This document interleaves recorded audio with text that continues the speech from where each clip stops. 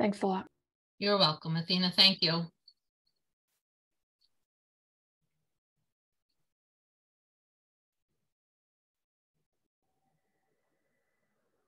Just, think, think Pam is having some troubles getting on or connecting because I've seen her pop in and out. Um,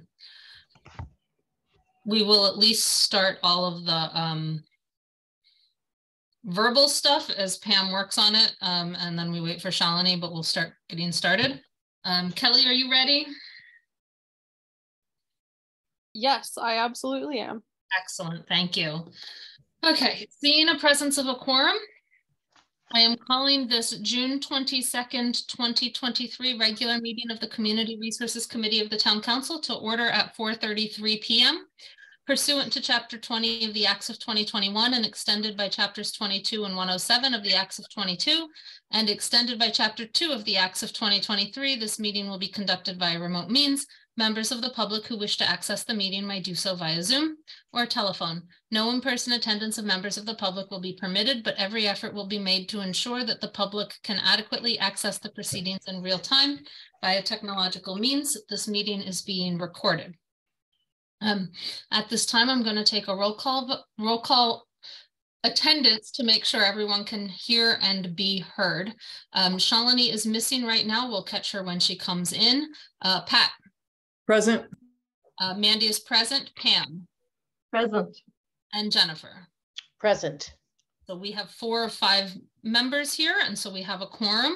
Before we move on to the public hearing, um, I just want to let John know. Thank you for being here, John. We have a public hearing first, so we're not going to get to residential rental bylaw. My guess is for at least an hour if you want to just kind of hang out and turn off your video. I don't know whether it'll be even longer.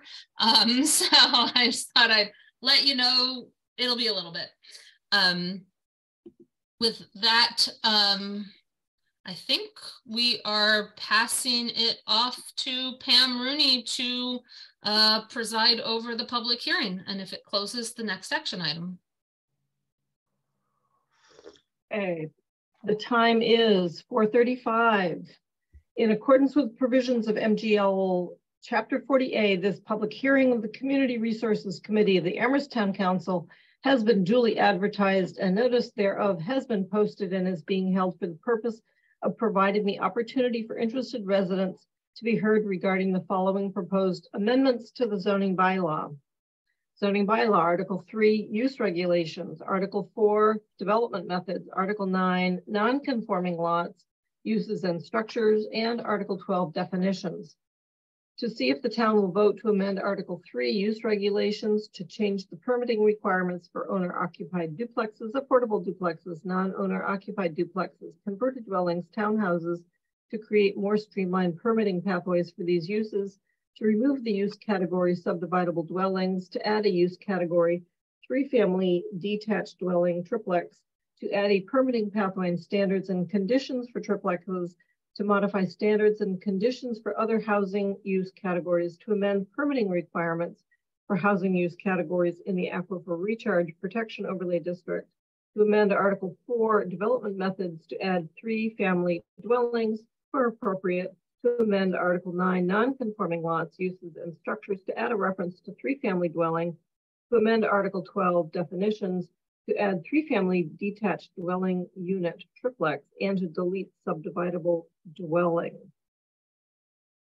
So the order of the order of business, and I want to check to see if there are folks out there in the audience. There are three attendees, and um, so I think any disclosures from the board or committees, committee members none. Um, so yeah, we'll go to the sponsors' presentations, and the sponsors have had many opportunities to present this, um, but it changes every time. So if the sponsors want to, once again, um, describe what's happening or changes that have been made since the last time we discussed this, um, why don't you go ahead and do that now? Go ahead, Mandy. Okay, I'm going to share my screen so that it's easier to see. So everyone should be able to see. Um, we put in this draft the highlights in yellow. Um, the first one is this entire section that's in pink that has the comment. I think Pam, you had discussed why it was necessary in the in the section the last meeting, and so we're we're saying we're okay with deleting everything that's in pink um, if the planning department um, thinks it okay. You know, if if it really is duplicative, we're we're fine with streamlining the the zoning bylaw. So we haven't formally proposed deleted it from here, but but we wanted to put that out there.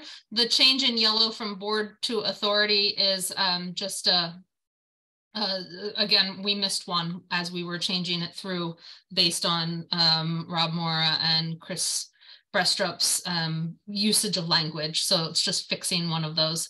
Um, the bigger changes here are in owner occupied duplexes. Um, in response to concern from both this committee and the planning board, we have returned or proposed um, special permits for the Aquifer Recharge Protection District.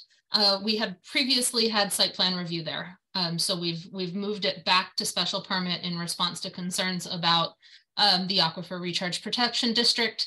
Um, and the the concerns were that a site plan review is not discretionary. Um, and so we've put it onto a discretionary where the board, the permit granting authority can can make a determination whether in that particular site in the ARP, a owner occupied duplex would be uh, appropriate. Um, in the yellow, in the conditions, uh, we have since, uh, again, in response to the planning board's concerns, um, and some of the concerns I think Jennifer and Pam had indicated, we have adopted the language that Chris Brestrup proposed in her memo from about a month and a half ago um, regarding any buildings above two dwelling units on any parcel for owner occupied duplexes being requiring a um, a site plan review for only um, the first, the two, three or four dwelling units on a property and a special permit for above four dwelling units on a property in the RG, RVC, and RN. This is the actual language that uh, Chris Brestrup proposed in that memo. Um, the other change is to affordable duplex. Um, it's in yellow here, but it would not show up in any proposed motion because we are proposing again um, in the ARP to go back to special permit. That's what it is right now in affordable duplexes. So this is actually a return to not proposing a change at all. Um, but it's in yellow to see that it changed from the last version. But it's basically going back to what we have now in the bylaw. Um, you'll see in triplex, again, there was concern about the ARP. And so we are proposing a no buildings of triplexes, no building of triplexes in the ARP and the RN. We had proposed a special permit there. And so we've added a no there for the ARP. And same with the townhouses, we had proposed a special permit in the ARP for the RN, and we are um, moving to no, which is actually um, no change from now because right now the current bylaw doesn't allow townplex townhouses at all in the RN district and we're proposing a special permit in the RN district. And so the only change then in the RN district if this uh, amendment was adopted would be in the non-ARP sections of the RN district. Um, I think the last thing is down here. Um, in response to um, notes that we received from Janet McGowan regarding converted dwelling, it came to our attention that our original proposal didn't require a change in the definition of converted dwelling, but after we had worked through some of the concerns and reworked the converted dwelling proposal to um, streamline it and bring it back to what a converted dwelling really is, looking at, we forgot to look at the definition there. Um, and looking back at the definition, we realized that some of that definition might actually conflict with the new proposal that came from Rob Mora on fixing sort of the converted dwelling conditions. And so we have added a change in the definition to ensure that it does not, um, again, more of a streamline um, and does not conflict with the conditions that are in there to create this weird sort of which one applies um, and, and then some changes there. I can talk a little bit more about that if people have more questions Um, but but that is a new change, but it's more of a as we went through and made many more changes to the conditions than what Pat and I had preliminarily proposed to the council to the converted dwellings.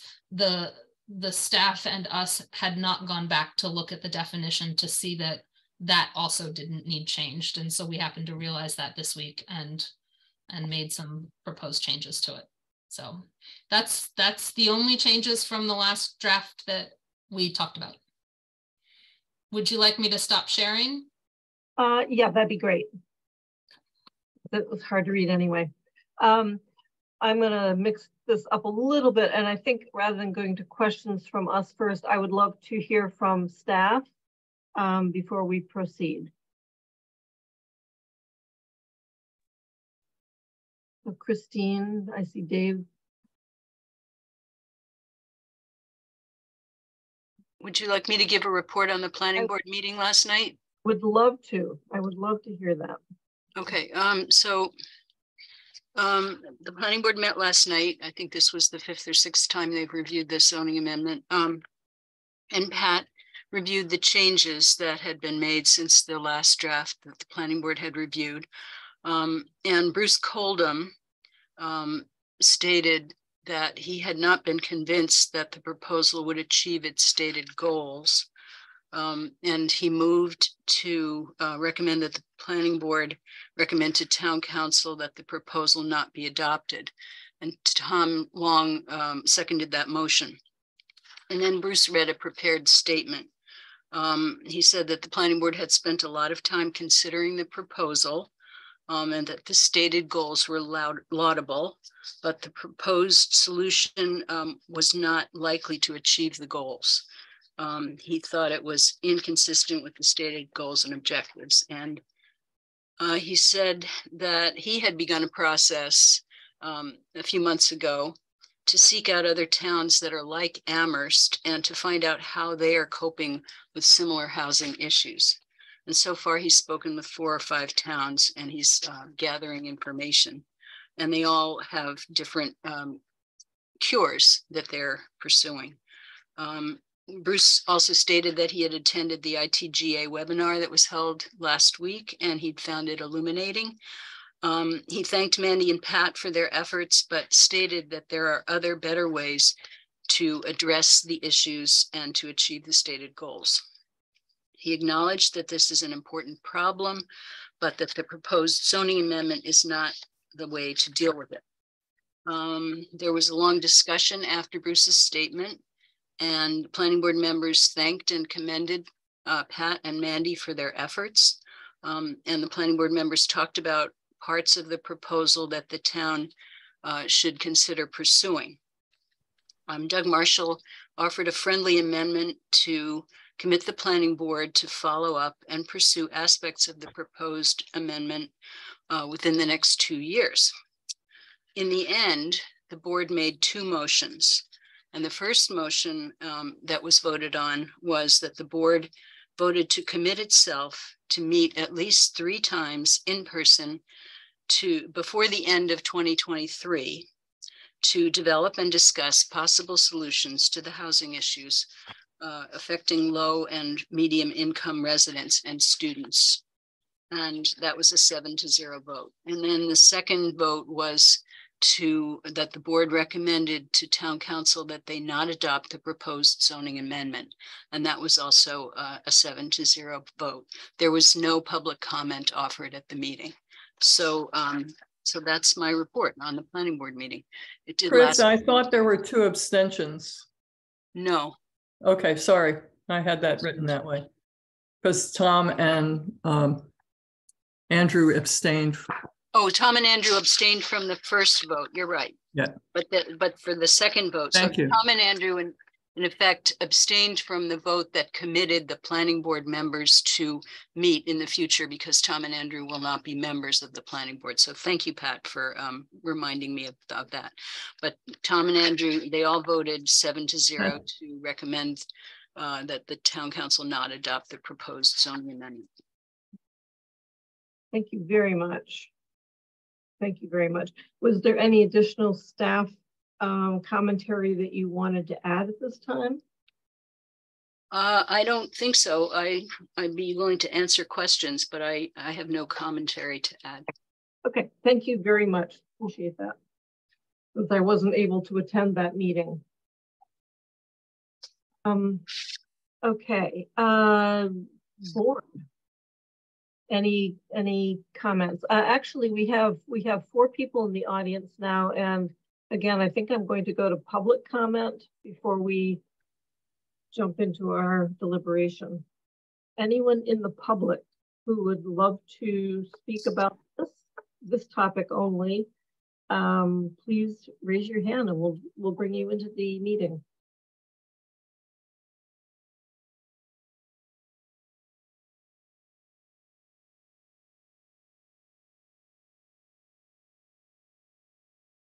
There's also going to be um, a later public hearing, a public comment period on other topics, um, but this is strictly for this hearing. Any public comments? I see a hand up. It is Janet Keller. Can someone bring her in, please?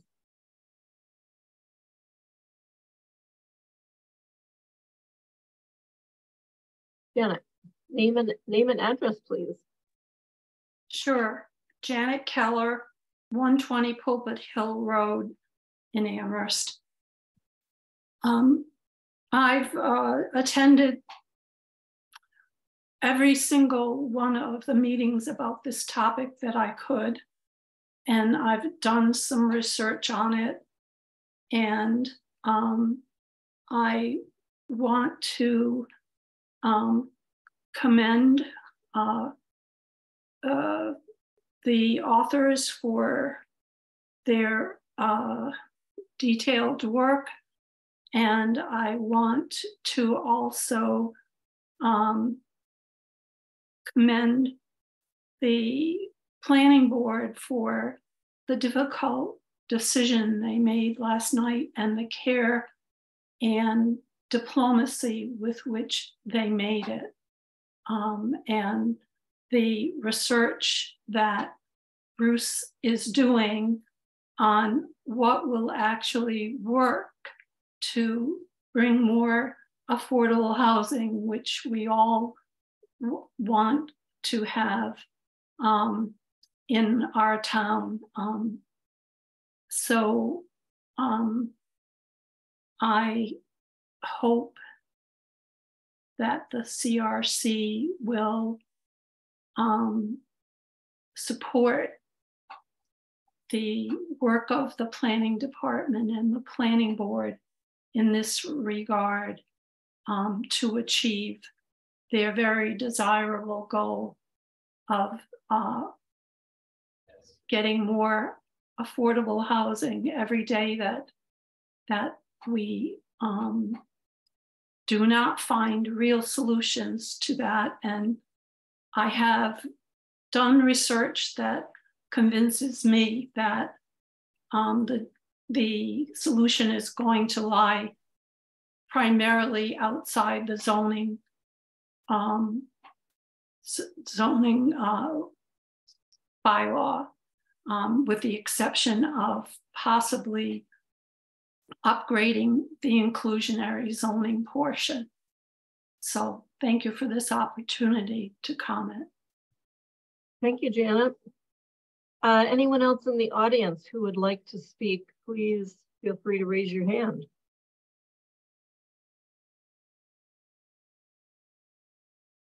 I'm not seeing folks raise hands, so I'm going to close that portion and move back to um, CRC member comment. Oh, Chris, Chris has her hand up. I believe Hilda Greenbaum um, raised yeah. her hand just as you were. Yeah, thank you. Um, Hilda Greenbaum, please enter and give us your name and address. I just wanted to say that after last night's meeting and everything that's been said over seven months, there's nothing else left to say is to just recommend that they just stop discussing this issue and we look at the other ways to solve the problem. There's nothing left to say, except it's, it's not going to work.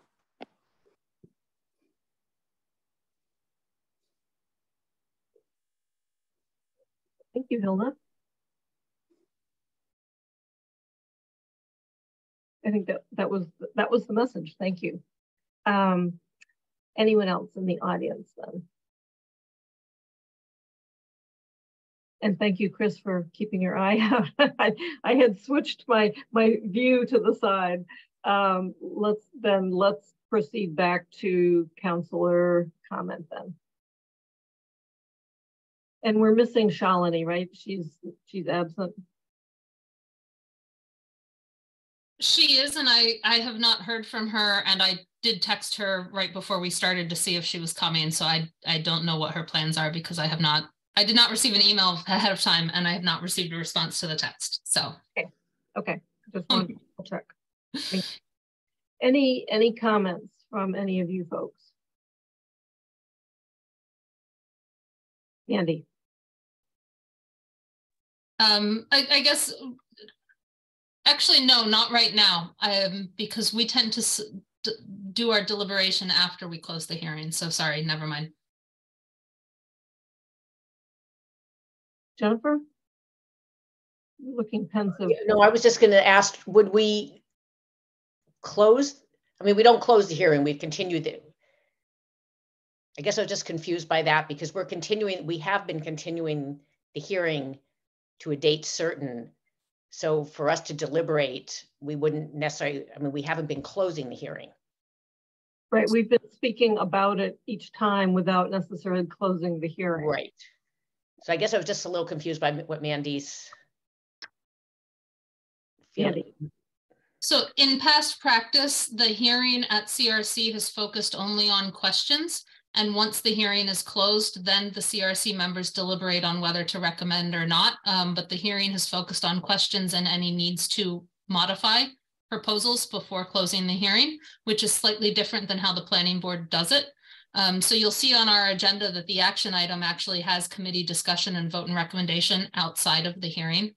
And so I, I had thought about commenting on my thoughts on recommendations, but I felt like that's not part of the hearing, that's after the hearing. So that's why I said that. Jennifer.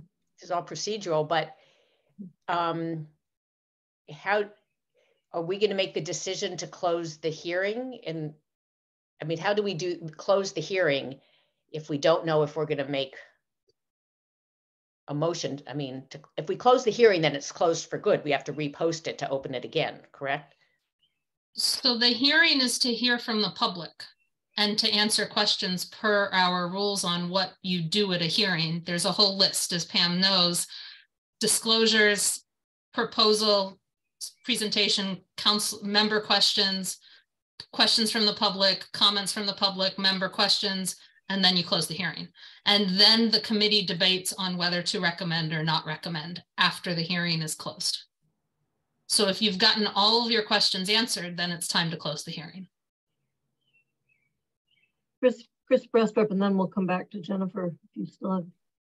I just wanted to note, I think I emailed some of you earlier, I need to depart at about five after five and I will return at five twenty-five. I have to meet the planning board chair out here to get his signature before he goes on vacation. So if you had questions for me in the next five or 10 minutes, I could answer them. Otherwise, I'm going to be elsewhere for about 20 minutes. Does anyone have questions for planning staff? Jennifer. Um, well, I guess, Chris, I, you know, I can't recall if you answered it last night, but do you have any comments about um, the sponsors' proposed changes that were presented today? I, I, I am in agreement with the proposed changes. Okay. Thank you.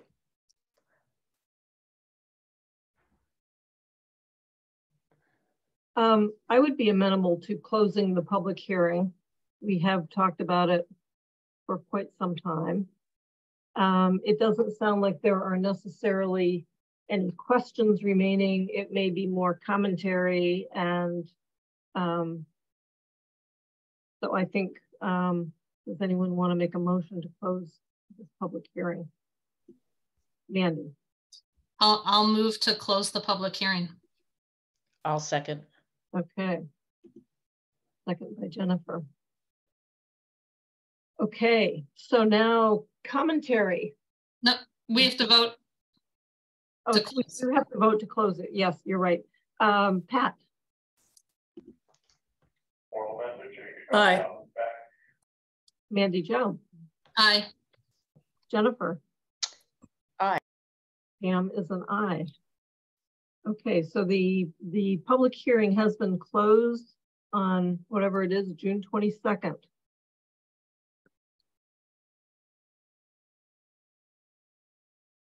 Commentary. So we're moving on to action item three A, right? We are moving on to action item. Uh, Well, agenda item three A. yes.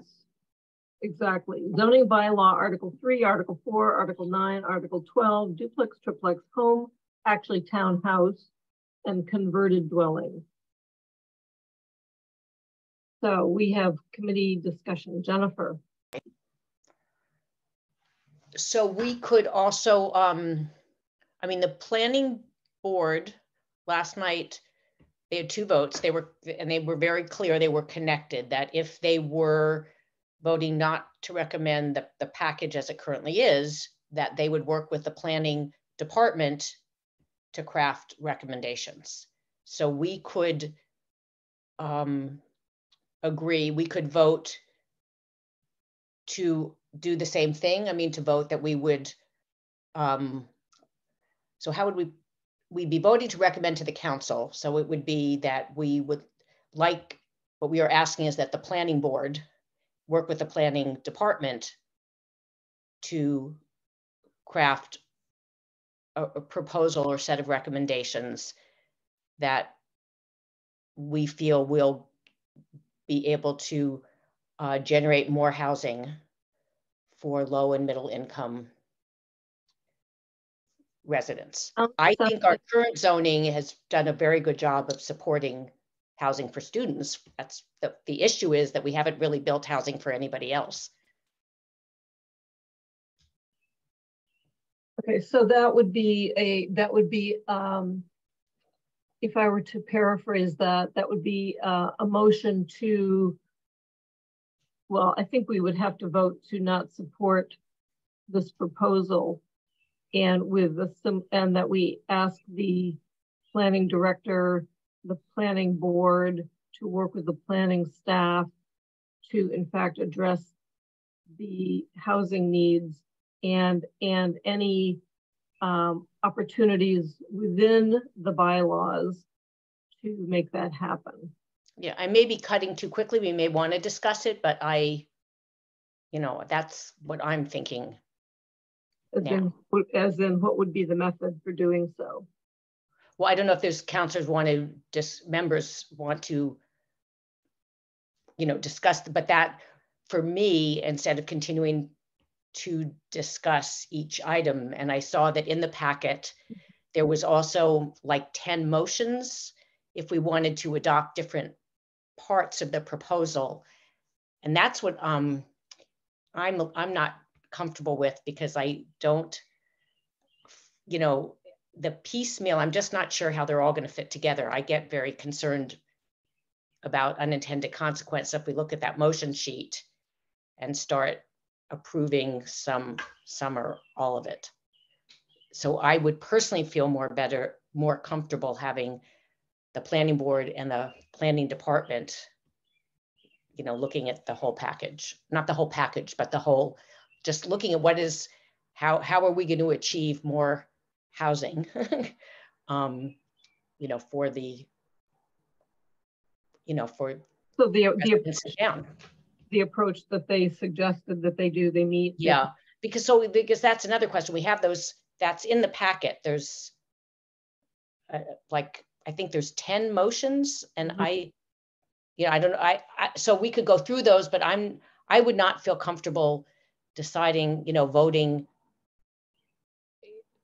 in, you know, for each one kind of in isolation and, and piecemeal without really knowing, um, you know, if we support one without the other, what the impacts are going to be. Uh, Mandy, and then I, and then I want to weigh in. Andy's muted. Sorry. Um, a couple things that, that, what the motions that are in the packet were something that I drafted because the planning board um, at their prior hearings were wondering whether they could vote things piecemeal and what that would look like and should they vote things piecemeal and, and all of that. So I, I thought that it would be helpful for them to see what a piecemeal sort of vote would be based on not their hearing from last night, but but the month before. Um, so I drafted something of like, here's how I could envision a potential piecemeal vote going. Obviously, some of them were really piecemeal and others not as piecemeal, and you could combine some and, and not combine some, right? There's there's all sorts of ways to do it. But I, I thought I'd put that out there as to why that was there um, as just a potential help if a committee wanted to vote something piecemeal instead of all at once. And the planning board certainly was discussing that a month ago. Um, my thoughts. Um, obviously, I'm a sponsor. Can I just ask something? Was that in the planning board packet? It should have been. Uh, Oh, well, okay. I I don't know didn't whether know. Chris put it in. I think it was. Um, I, I we sent it to Chris, so, um, and told her to do what what she wanted with it. um, obviously, I'm a sponsor, so I want to see this pass, um, and I want to see it recommended. One thing that struck me though at the planning board was, I I, I guess where I am is there was nothing really bad to say about the current proposal. There weren't necessarily anything in particular that I've heard from the planning board that Pat and I haven't addressed that says, this is why we can't support it. Other than a vague, it's complex, or a vague, it's not how we would do it, or a vague, there's other ways. Right? Um, and that, I will say, frustrates me um, because zoning, I look at zoning, I look at legislation, I look at our housing crisis in particular and say, we can't wait for the perfect. We can't wait for the exact thing one person would do over something else. Um, I think Pat and I have been very open and saying this isn't the only possible solution. This is not the only thing and that it will solve all problems, but it's something to move us forward. Um, and even many of the planning board members have said there are parts of it, part of their vote was that there are parts of it we like.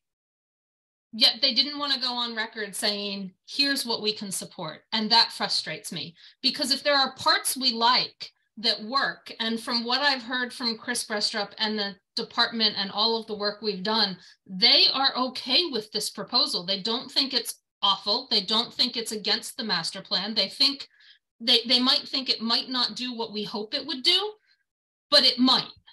Um, and so they're not against the proposal. And we've got, and some of the proposal actually came from them, right? Pat and I would have never proposed to delete subdividable dwellings if not Rob Mora saying, hey, delete subdividable dwellings. so some of this directly came from them. And if I'm looking at our housing crisis and looking at what the planning board motion was and what Jennifer, you just proposed, which I don't necessarily oppose in terms of look at more things to do, right? Yes, we need to look at more things to do. We need to figure out how to do this. We need to find ways to build more housing for low and moderate income. Exactly what you said, Jennifer, right? But do we wait two years? Do we wait three years? Do we wait a year and a half while doing nothing? Or do we do this that is proposed or parts of this that are proposed, whether it be only the townhouse part, which is actually quite small, only the converted dwelling, only the duplex, only the triplex, although I'm not sure the triplex would do much at all. Um, I will admit that that was more of create a category um, because people have said we want a category so that in the future we might be able to craft that one better than apartments in general, right? Um, do we do that now and continue working towards other things and say, you know, this might help and it's worth doing something that might help instead of doing nothing while we wait six months to determine what we might be able to do, another year to craft the bylaw that would do what we might think about doing, because I can tell you it'll take about a year um, to craft the bylaw once you decide what you want to do. Um, and then another six months for hearing, and we're looking at two years. It- Jennifer, I think you even said 18 months, two years, either that or Pam, right? One of you guys just said up to two years. While we sit here, while we, yeah, two years at the planning board before we get any proposals, while we sit here still wringing our hands about the housing crisis? Or do we try to do something now while continuing to always do something more? And so my position on legislation has always been keep moving forward. It doesn't have to be perfect. It doesn't have to be exactly what you want or exactly what you think it might do. But if you're moving forward, do it. And so I would vote to recommend we, as a council, adopt, uh, whether piecemeal or not, adopt the proposal. And yet I would also vote to recommend that the planning board continue planning and the planning department plan. So I wouldn't I, I wouldn't say no while we plan. I would say yes and plan.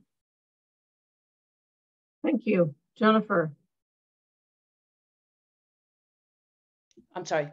Okay, there are things that would you say we don't, if we do nothing, I mean, there are things in the proposal that could actually send us in the wrong direction. That could, so I, I'll just say, if um, dupl if footnote M doesn't apply to triplexes, that will that will have an impact, and it will have a really um, adverse impact for the neighborhoods in which that happens. So you know uh, that's you know it all progress, all change isn't the change that we want.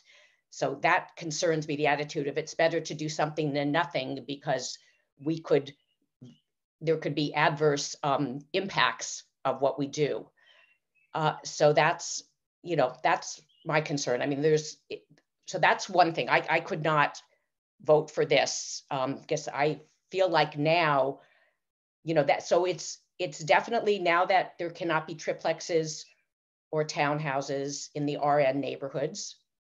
That, you know, that's probably something that would be very residents that live there would be very receptive to, and that more is by special permit in those areas. But there's some zoning districts in which there there will the way it is now that that would not it just wouldn't really be acceptable.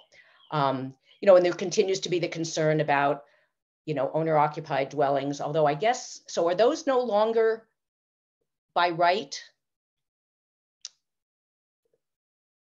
And that's a question I have since it was just changed. So under the proposal, owner occupied duplexes, the first two units built on any parcel would be a yes. So building commissioner, building permit only. So there's a concern about if well, those. Hold on. Yeah. and that's anywhere in the residential, the first two units. In the RO and RLD, once you're above two units, it would be a special permit immediately for three and above units in the RO and RLD on one parcel. In the RN, RG, and RVC, units three and four on a parcel would be site plan review, and units five and above would be special permit, which is actually for owner occupied duplexes more strict than the current bylaw. So in the RN now, you can have can you multiple owner occupied duplexes? No. Yes. Yes. You can't have the non-owner occupied. No, you can have non-owner occupied. They're all special permits in the RN right now. Only affordables or site plan review on the RN. But right now, any number of duplexes on a property can be built under special permit. And so what our proposal is for those permitting requirements in the RN is to change that special permit for three and four units, so one for two buildings to site plan review, and for the first building to a yes. But there is concern that if, well, I think that's a concern. I think that's a concern. People want a special permit for even the first unit because it might not always stay owner occupied and that that could have, so I, I think there, are, you know, def, residents who would say that they're not comfortable. You know, that's a change that they're not objecting to the duplexes, but they would like it to be not by right. So I'm saying there's there's there's substantive parts of the bylaw of the proposal as it is now that people don't think doing that is better than doing nothing. I'm gonna go to Pat and then I forgot to weigh in. you never forget. um, first of all, there we if you read the proposal, and it surprises me that you there's still confusion about it on the planning board and here because we have been looking at it for so long. But we're proposing deed restriction on owner occupied duplexes, not just affordable ones. No, you had a turn, my turn. Um, so I, I and you people keep talking about adverse impacts. Uh, adverse impacts to doing nothing, adverse impacts to some of the decisions, and I don't know what they are, that the planning board might make. So will you vote against planning board or planning department decisions that will carry adverse consequences? Or not? We just, you know, but the reason that I want to break this up into sections is because I think that there are aspects of this that we can support, or I can support. I really can only speak for myself. But our job as a community resource committee is to take responsibility for our own decisions, which means if you don't like one of the suggestions during the breakdown of the, then you vote no. If you like it, you vote yes. But that's, you can't decide, or I think it's irresponsible to decide to hand your responsibility as a community resource member to the planning board and the planning department. We're here to make a decision. I would love it if you made the decision I want. You're probably not going to. But what is the harm of looking at this in sections and discussing it and allowing our views to be heard and known? So don't step aside. I, I don't think your intention is to step aside from responsibility. I really don't. So, but that's what this would be. Oh, we're going to do what the planning board did. Yeah, so let's take some responsibility here. Okay, thank you, Pat. Um, I I thought very carefully about the breaking it down into parts. And I am I am not going to be able to do that. I think I am still uncomfortable with a couple of the aspects of um, first of all, it was it was really I, I'm I'm I think I think we we haven't finished our business here. And there, I think there are some aspects of development in the RN which really need more attention, and they haven't gotten it. Um, I think that there are RN areas that front on fairly fairly busy streets that are on major bus routes that need some additional consideration for what might be allowed there rather than say no to something maybe maybe a special permit would allow something in the RN that we're not thinking about. The R the RN again is a blanket with um, lots and lots of different characteristics. Unlike the RG, which is pretty consistently dense neighborhoods. Um, I'm still uncomfortable with the triplex. If we create the triplex, we also need to address triplex in, in combination with any other building type. So we already know that in the RG, we have we have single families, we have duplexes, we already have three families, we have four families.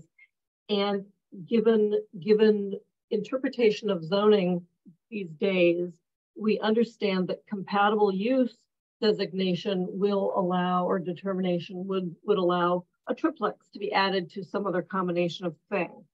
And so I am uncomfortable with the cutoff between where uh, something is site site plan review versus site special permit, that the number should be lower.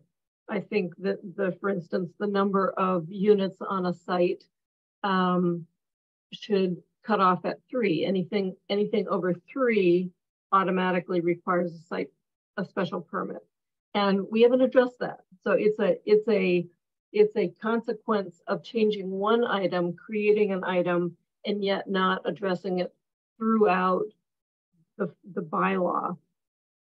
If we do anything to, if we create a triplex, we need to add triplex to footnote M.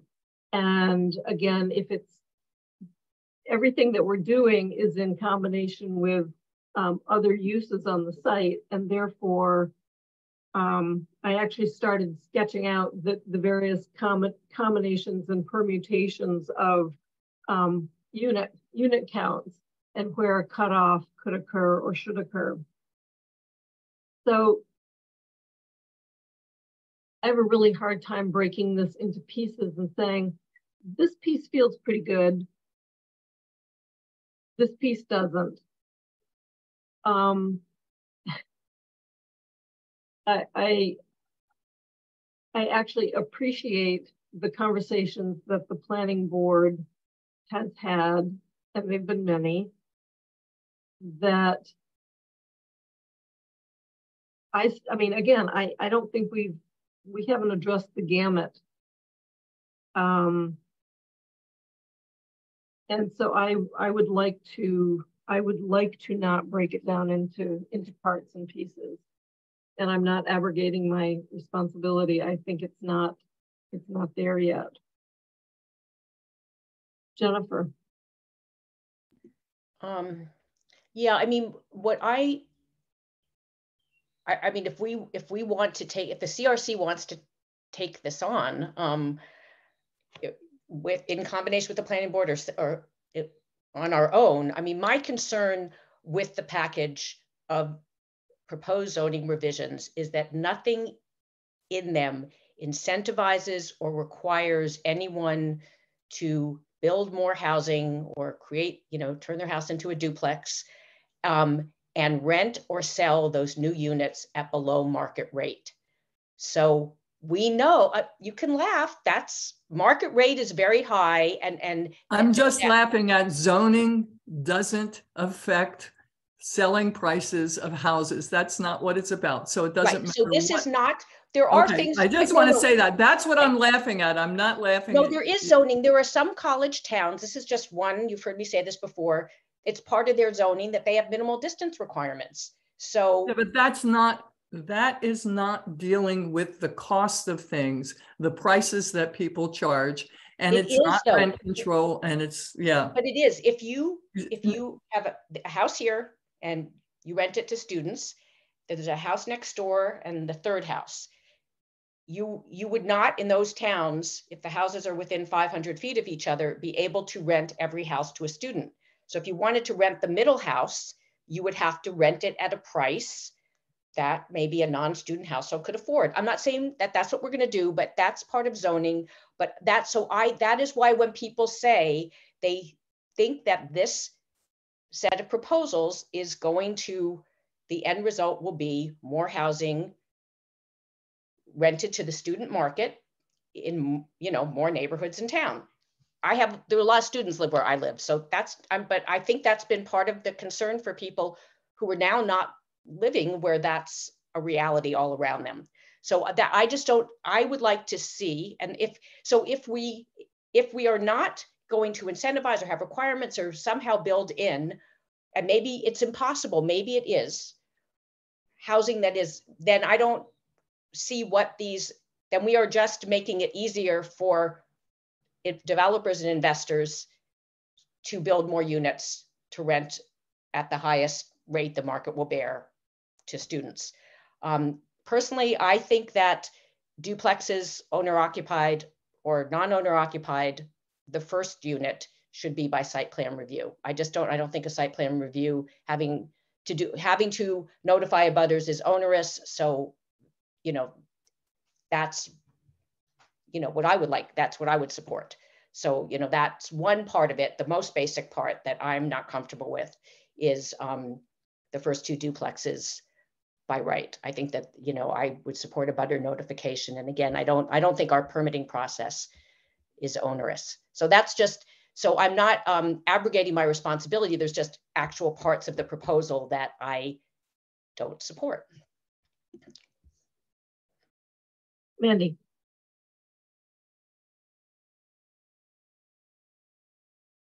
So much. Um, to Pam's point about the development in the RN needs more attention because it's such a big district with a lot of different characteristics. That's what a special permit permit is for, to allow that discretion for a board to say a townhouse is okay in this part of the RN, but it's not okay in that part. That is the point of a special permit. To say in this district, there are parts of the district that that type of building is appropriate and there are parts that it is not. And so for a townhouse, which our proposal does go to a special permit, not a site plan review anymore, that's exactly what our ZBA would be doing. And if they said, and if a person came in with a townhouse development in a part that the ZBA said, you know, that's not appropriate at all. It's in the back of a development, not near anything on wetlands or practically near wetlands, the ZBA has the discretion to say, no, we're not going to allow it there. But if it, that townhouse proposal is in an RN that's on a major road right next to a bus stop, the ZBA can say that's an exact spot we want that townhouse. That's why we put a special permit on these things instead of say no. That's exactly why we do it. And that's what a lot of our proposal does. To the concern that nothing incentivizes or requires someone to build or convert and then rent or sell at below market rate or market rate. Our state does not allow rent control. We can't force someone to sell below market rate if they don't want to, except in terms of renting below market rate or selling below market rate when they are designated state housing inventory affordable projects. And what does our duplex affordable duplex part of this proposal do? Require that they be on the state housing inventory for below market rate for those up to 80 or 50 or 30, whatever the developer wants. We as a town in zoning, zoning does not say you have to sell, you can't sell. You have to sell to someone who's going to own or occupy it. You don't, except where we've actually said owner occupied duplexes with a deed restriction. Isn't that the type of building we want? And to talk about your minimal distance, You've had a year and a half on the council and you've been talking about minimal distance the whole time. I haven't seen a proposal yet. If you propose it, I will look at it just as closely as I looked at this one. But needing that minimal distance, they don't have to be tied. I don't know why you want them tied, but you can do one thing and then do another thing two months later or three months later. But what I'm hearing from you saying, well, if it's not going to do what I want it to do, we can't do it at all. Or if we're not going to tie them together, we can't do it. The only way to tie below market rate to zoning, like force below market rate housing sales or rents to zoning, is through affordable duplexes in our bylaw or writing another one. Because you know what? A minimal distance thing, which we're not really here to talk about, does create winners and losers. The person who rents to the the person who rents to the the, to go with what your example was, Jennifer, the person who rents to the students will get huge profits, according to what you say. And the person next door that didn't happen to be the person renting to the students first and wants to sell suddenly has a value of a house a whole lot lower than someone else. And so when you've done that, you've just created housing values within a neighborhood that give winners and losers to housing price. Whether that's good or not, whether that's what we want to do, I don't know, but that proposal is not in front of us. Someone write it. You write it. You've been talking about it for a year and a half. Write the proposal. You've been talking about state colleges. Write the proposal, bring it to the council and let us debate it with language in front of us. But to say you won't even consider this one because it doesn't have that one attached to it, to me, is just not the way legislation works necessarily. So I don't, I don't get the well if we're not going to incentivize something and we don't actually know what that incentive incentivization might look like or whether we could even do it i won't even consider a proposal or i can't vote for the proposal because it doesn't do that even though i don't know whether it's legal that i look at the federal government when people vote for or against something like the debt ceiling and say well it wasn't my proposal so i'm going to vote no. And it just frustrates me at the federal level. It frustrates me here too Thank you, Mandy. Jennifer, you got your hand up. Yes, so I never, ever said I wasn't going to vote for it because it didn't have minimal distance. I was responding to what a counselor said that you can't, zoning cannot deal with renting it below the top of the market. And I was saying that is an example of a zoning, that's part of the zoning in the towns that have it. Um, so that's all I was saying. I in no never talked about it having, we have to do this or I'm not going to vote for that. There are, um, and yes, you have said, you know, affordable duplexes will be permitted by right. Our planning department said it is highly unlikely that we will see affordable duplexes, that people who have, you know, the money, they're, they're, they either are going to buy or they own a house and they're going to go to the expense. There may be a couple of, of people that will you know, but they, our planning department said that's very unlikely. So we can be aspirational, but if we're being realistic, the chances that we are going to see um, a lot of, um, of duplexes, owner occupied duplexes that are then rented out at a rate that the you know government would recognize as affordable housing is is slim to nil. That's just and that, you know that's the reality. So um, and I don't think that we need to change. And I've said this before, and I know you totally disagree with me, but I don't think we need to change our zoning bylaws to incentivize more housing, market rate housing, which in this town is for students. We, we have been building hundreds and hundreds and hundreds of units with multiple bedrooms for the last seven to eight years with the zoning and the permitting process that we have. And I believe that if you want to have more, you know, I, I think it's great to have more owner occupied and more duplexes, but I think that they should, you know, there should be abutter notification. That's just what I think. And it should not be for right. And I think that in the RGs, where we already can have nine units on an acre with multiple bedrooms, that's 36 students, because that's who they're rented to, that we don't need to pat in your in the rn district you just said that where you live there's no longer going to be townhouses or triplexes. Where i live i think 36 students. I didn't say that. well that's what last night i mean that's what you said that there wouldn't be in the rn there are not going to be triplexes and duplex and townhouses? Did i understand that correctly? I mean if i if i did correct me because that's what i heard that there'll be no triplex in the APR and RN and no townhouse in APR. APR. So are, are there going to continue to be So townhouses right- and triplexes Right in the now, RN? townhouses and townhouses and triplexes right now, if we do not change zoning, do not allow triplexes or townhouses or apartments. Right, so no, I, so I'm just asking for clarification. At the beginning of last night's planning board meeting, Pat expressed, uh, she presented two changes that the sponsors had made since the last planning board meeting. So that was the first time I heard it. And, what bo- they- and they refer to the aquifer recharge regions. Which is a So very small portion of the. Oh, okay, Right. well, that's not what it sounded like. That's, I didn't hear it that way And last it night. Okay. got, and Doug made sure that was said. Okay, so no, that's, I appreciate that clarification, because what I heard last night was in the whole RN. So that didn't, that change didn't happen. No, that, that change would be no change to the current bylaw. The current bylaw does not allow apartments or townhouses in the RN at all.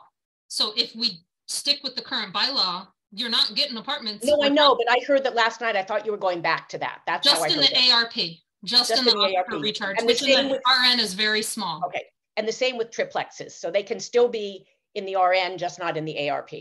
Correct. Okay, All you. under special permit, Okay, okay, thank you. Which is But, um, right I- not allowed. You know, I still, in the RG districts, we, there it is, in the current zoning, there is a great deal of densification there.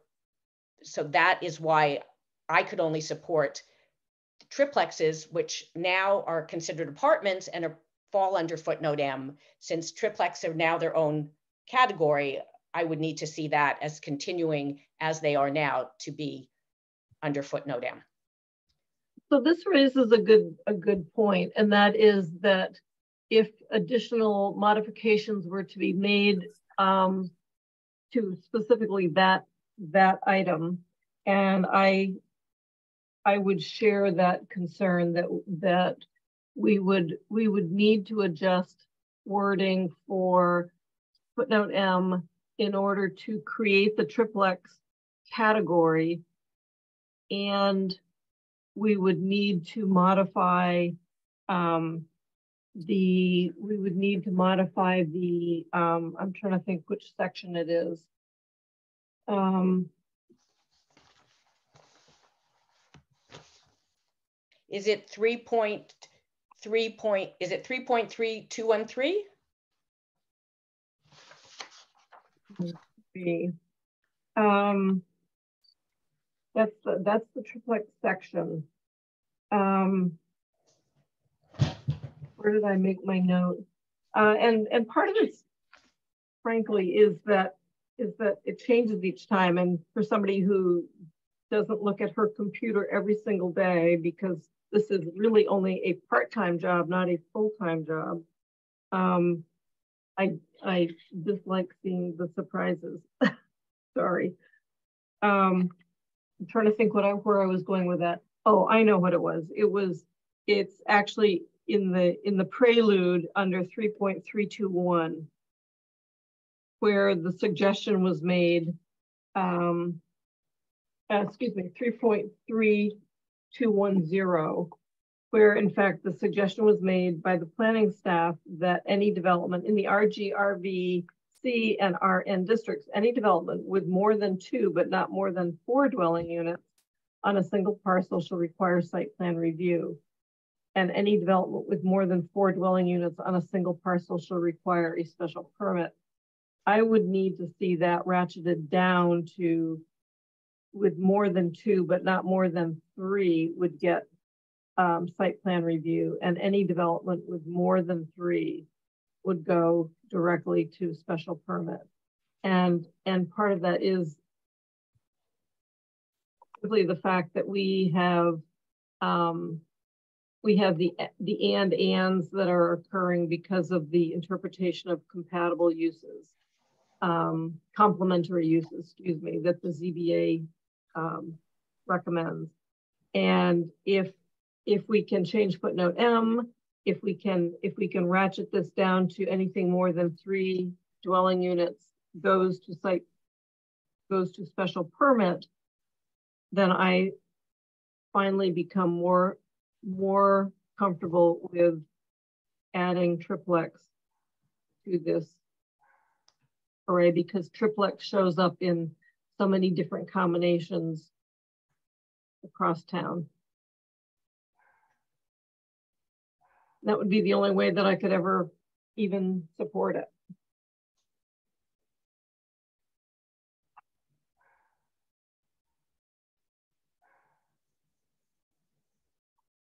The one, the one thing I can support is I like the fact that we call an apartment and a townhouse dwelling as starting with the count of four units.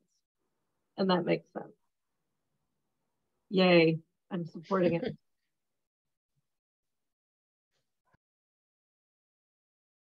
Andy, So in order to support the change for townhouses and apartments to four, you have to create a triplex section. Um, I just said if we create a triplex yeah, so, section, so you- to do that, you- the- those two go together, right? Because otherwise you don't have a three family at all in the bylaw. Um, And the footnote M could easily be modified if this committee wants that recommendation. What it would be is splitting these votes, right? And making some votes with recommendations that say to recommend the triplex, going back to that motion of possible motions or whatever, right? Um, the one that talks about the triplexes type thing.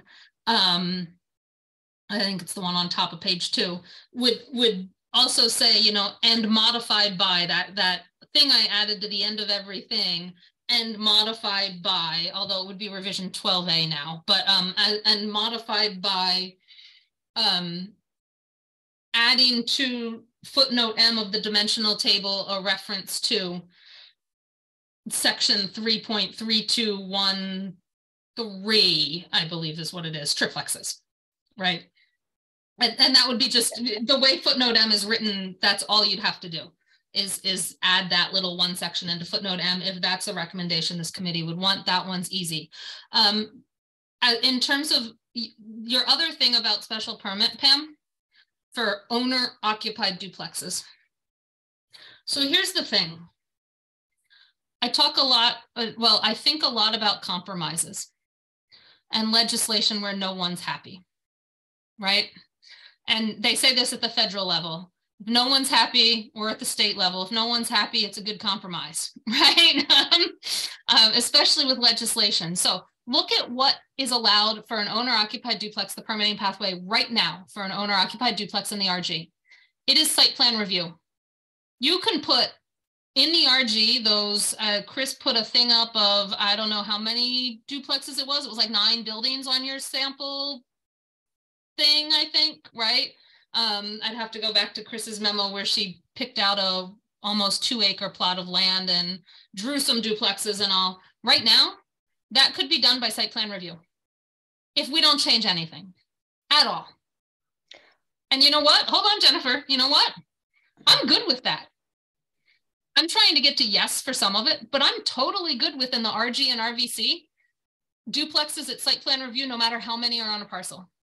But in an attempt to reach a compromise in trying to get that yes for the first one so that our, our currently exclusionary zoning policies treat that second unit on a property for a one building, new building duplex exactly the same as now we treat ADUs and exactly the same as we treat single family homes. I'm willing to say when you get to that third building, we're going to actually turn back the zoning. Hold on. Third building or third building or third dwelling unit? Third building, the fifth dwelling unit. Right now, the third dwelling unit gets a site plan review. The fifth dwelling unit gets a site plan review. The 18th dwelling unit gets a site plan review under our current zoning in the RVC and RG for an owner occupied duplex. And so for me to try and get that yes for the first and second dwelling unit, I'm willing to, and this goes against everything I think about for zoning, make the zoning stricter to give you that fifth and up as a special permit. I want because of what things have talked. I'm not willing to do it for third and up because you know what? Compromise. I'd rather have the current zoning of site plan review for the RG and RVC and not get my yes than to make the third building a special permit, the third unit a special permit. I would rather keep the current zoning than do that. And what I'm asking this committee to do is compromise. Is the current zoning of site plan review for the 18th dwelling unit on that parcel in the RG, if they're all duplexes? I don't think Good we have the parcels in the RG, but. but Chris proposed one that had nearly 18 units on it. Um, for the it was partially in the RN too. At RN is also site. The RN is special permit right now, but the RVC and RG are that for the eighth, ninth, tenth, you name it. In the RG and RVC for that number, I'm good with a site plan review. If we, if you want a special permit for those higher ones, I'm asking you to keep the site plan review for the third and fourth building, which is what our current zoning is, and to change it to a yes for the first and second dwelling unit. That to me is what compromise looks like.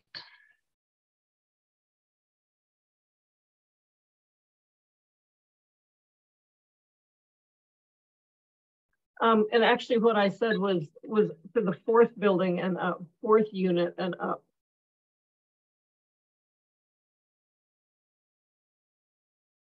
You said the third unit and up, I, I, I meant the fourth.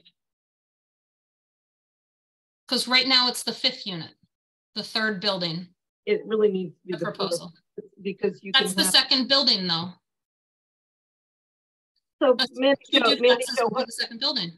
what I said at the beginning was that you could have a four family, you could have a four unit building on a site and you add one owner occupied duplex, you're now at six units on a site. And it needs to be a special permit if you hit the fourth build, the fourth dwelling unit on a site. And uh, Chris, Chris has her hand up. Um, are you recognizing me? Yes, I am. Okay, so I just wanted to point out that the sketch that I made that showed sixteen units on a property is the result of two things that town meeting did. One was to accept owner occupied duplexes by site plan review. So that's one thing the town meeting did. The other thing was actually something that the building commissioner did. The building commissioner now recognizes the ability to put more than one um, use category on a single parcel if those uses are considered to be um, complementary. So when you put those two things together, that allows um, up to 16 units on this particular parcel. But that was an unintended consequence. And what I wanted to do was correct that, what I consider is a problem. And so that's why I made that sketch to point out this is possible now. Wouldn't we like to change that? So Yeah. that's all I have to say. Thank you. And- And excuse me, so just to finish that thought, so that was your, that's why you had a recommendation of having only one additional duplex before, before it went to special permit. And, and I was suggesting because it, this, the same concept also applies to a triplex being added to a single family. You quickly, you know, a triplex on a site um, is, well, it's a, it's three additional units. And that, that should also trigger, trigger, um, special permit. So And- it does, because any triplex under our proposal is a special permit. Except now, with a triplex, if you counted it as an apartment building in the RVC, it would be a site plan review, because apartments in the RVC are site plan review. But if you have a single family home under our proposal and you want to put a triplex on that same parcel, the triplex is a special permit. So it's already there. Under our proposal, if you have a single family home and you want to put one duplex on, you'd need a site plan review because that would be the third that would be the second and third dwelling unit. And the way this is written, it's not building. We talked to Chris about that. It's dwelling units. So the third dwelling unit is a site plan review. The fourth dwelling unit is a site plan review. So if you have a triplex already on the property and you want a duplex, you're actually into the fifth dwelling unit. So you're at special permit under our proposal. If you have two single family homes and you want a duplex, you're you're at the fourth dwelling unit, you're at site plan review. You're not at a yes with that duplex. If you have a single family home and you want to add one duplex, you're at site plan review. You're not at the yes because it's it would be three dwelling units on that property. That's what this proposal says for owner occupied. Now, if it's not owner occupied, if it's non owner occupied, you're at special permit completely. Because no matter whether it's the first duplex, the first building, the second unit on the property or above with a duplex, it's special permit once you're in duplexes under non-owner occupied. But we're talking about owner occupied duplexes here. Deed restricted owner occupied duplexes where each building must be owner occupied because that's in the proposal. So that second building must also have an owner in one of those two units. If you put four duplex units on the property, which would be two buildings, each building must have a unit, an owner in the building, not just one of those buildings, both under this proposal, which happens to actually be different than the current bylaw. Under the current bylaw, owner occupied, you could actually interpret it as only one of those buildings, only one of those four units needs an owner occupant, not two of those four, just one of those units. There's a lot of good about this proposal. And yes, we can nitpick it to death with all of these things. But if you're concerned about that under Chris's, the ninth and 10th duplex needing a special permit, this proposal gets you there. Turning this proposal down and not recommending it to the council, that ninth and 10th duplex on that property is a site plan review.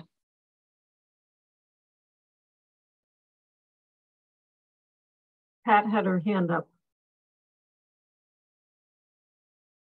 No, I was just going to say one of the um, uh, something that has been proposed by Valley CDC, which is Ball Lane.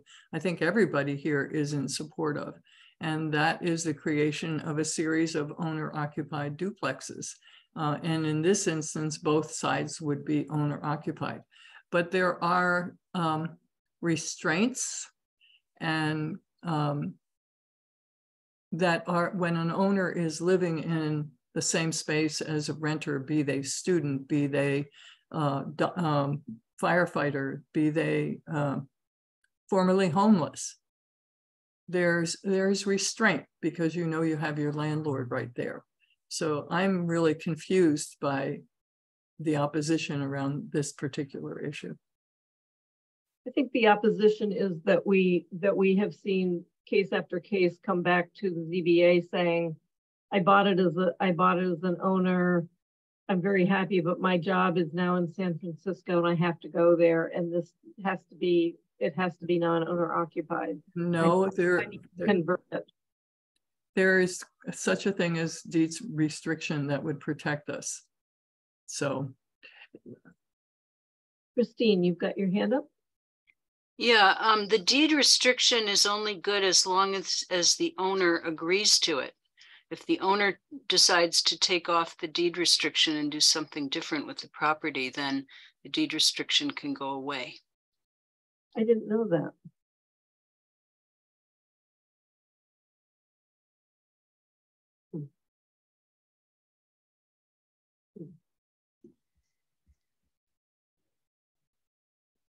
I'm going to put my hand back up. Um, lots of compelling argument. Um, I am I am not able to support what is currently on the page today. A, it still has, you know, it's inserts new stuff, old stuff, changes. If we could have a clean copy, for our next discussion. And um, I will also add wording that I suggest for the triplex. Uh, so that that, and that has to do with footnote M, because my feeling is that when we hit the third unit, anything over three units, we are now into the category of, of townhouse and apartment and that that the fourth unit on any parcel, whether it's a townhouse, apartment, or a, or a second duplex, or part of a triplex, is the is the same consideration of of where we started and where you have recommended, where the sponsors have recommended that apartments and townhouses start at that at that dwelling unit number four. And dwelling unit number four has been recognized as um, the, in my mind, the bare minimum of where special permit should start.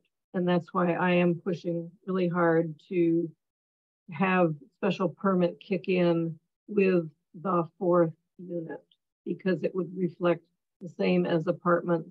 It would reflect the same as townhouses.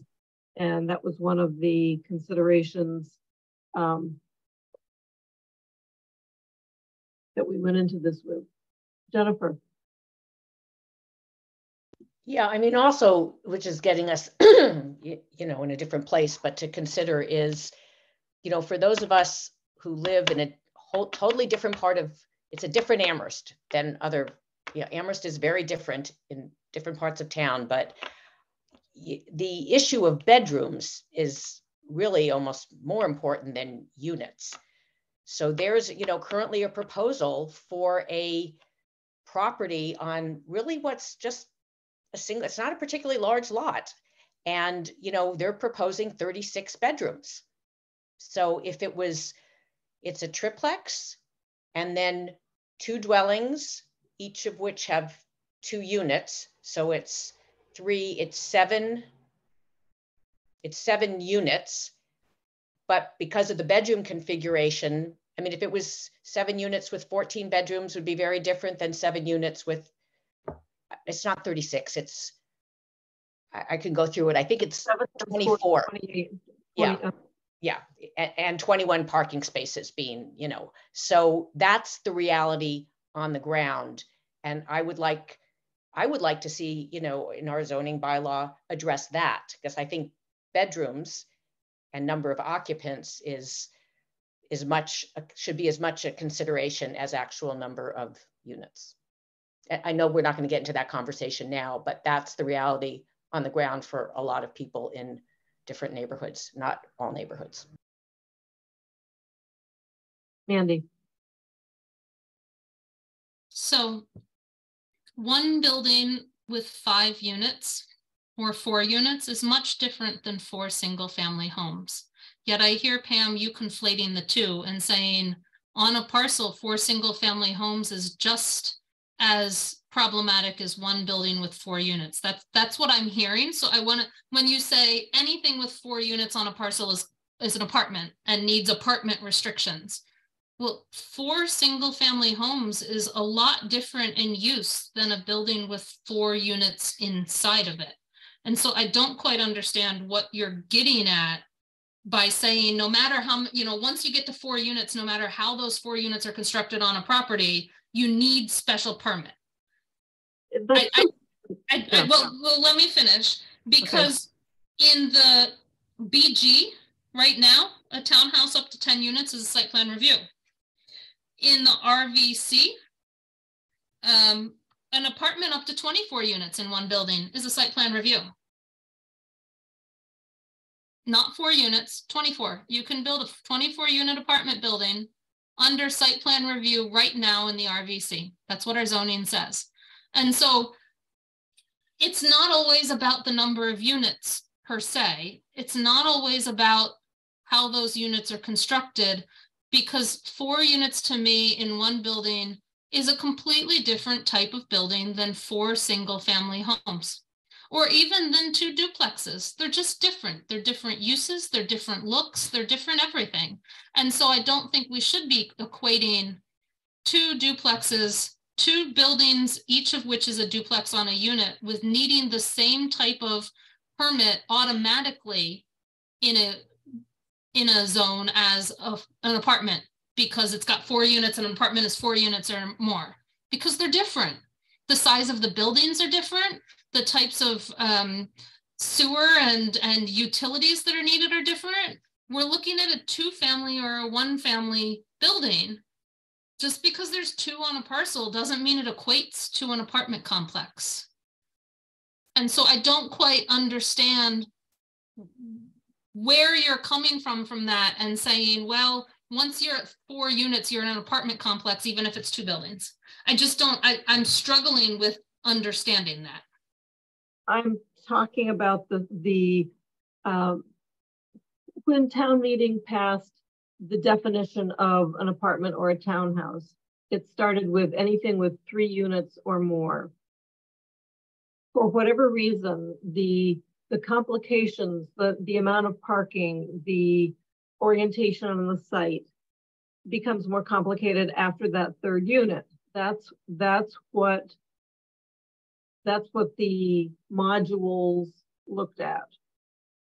When I think of the various combinations that are possible, and the fact that because we are really only making market rate housing in Amherst today, and that market rate housing is primarily going to four students at a minimum because they're all bringing in their goat. We all went to the seminar. They're all bringing in their ghost, their ghost friends. Um, we're talking lots and lots of people on small properties. Jennifer just gave a very good example of, I don't even know the size of that parcel, but it is, it is not an overlarge parcel.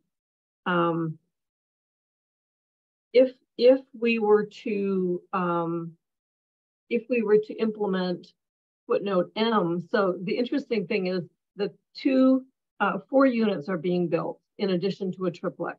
Four units would have, would have automatically been I mean, it is going to, it is going to the ZBA, it is going through special permit review, um, which is, which is the saving grace, right?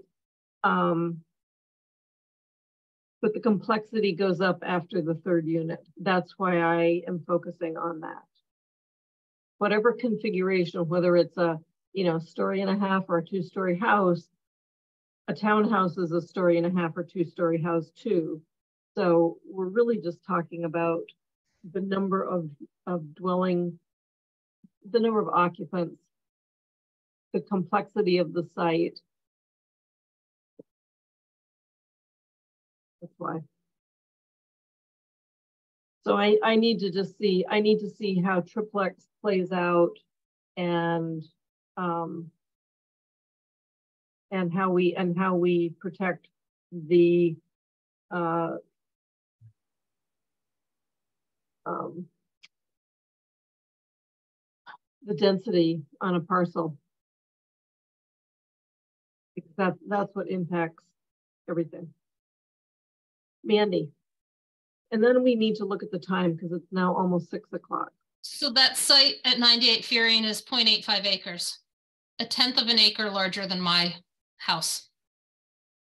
Just, just to give people than larger than my, more than a tenth of an acre larger than my lot in Amherst Woods.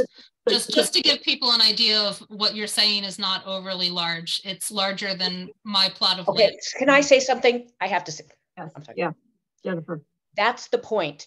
You have a single family living, they want to have 24 people living on a space that's only one tenth bigger than where your family lives. The idea that we don't think that's enough and we need more is absurd. I mean, it's just not, that is a lot of people to be living on a lot that size. And it's, they're narrow lots. So they, the houses around them are much closer to hmm. that property than when your neighbors are to you. Yeah.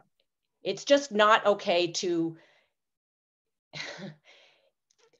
you know, to, to ask people that live in a much denser place than your neighborhood will ever be zoned for to accept greater density and that they're it's problematic if they won't it's just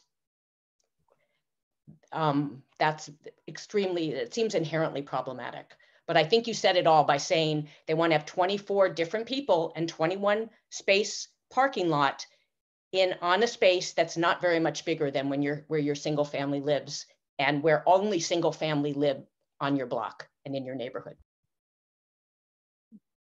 So we have, we have some options. We could take a vote, right? We could make a motion right now and we could take a vote.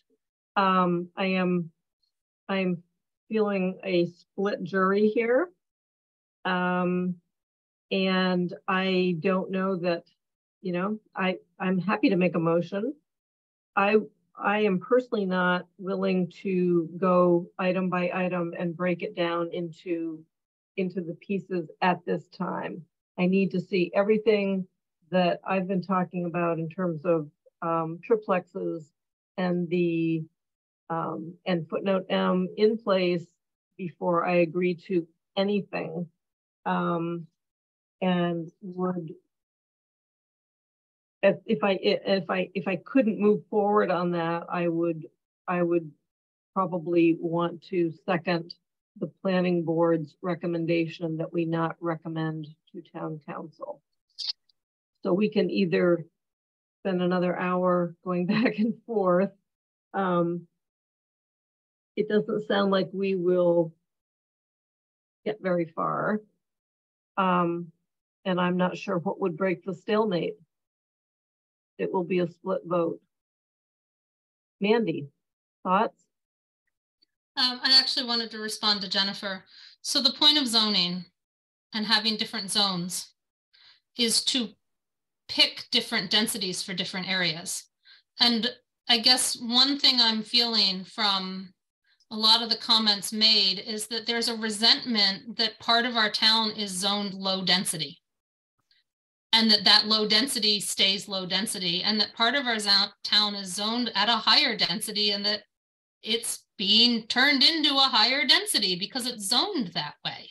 That's what zoning has done with our dimensional tables with our you know the dimensional table that has a minimum lot size. The minimum lot size where i live by zone in amherst woods is um point uh, is 30,000 square feet almost three quarters of an acre. My, my plot of land is barely the minimum zone. That's what the town by zoning has chosen. And to continue to say, well, you don't want density in your area. Well, sure. I would say make a proposal to change the RO zone to higher density and see what goes. You know what? We tried that with this proposal. And you know what the planning board said? You can't do that. That's too dense.